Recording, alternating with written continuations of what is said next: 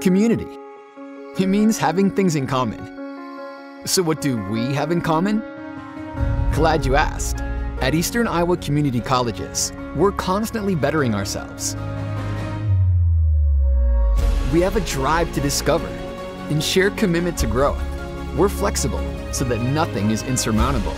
And together, we're part of something bigger.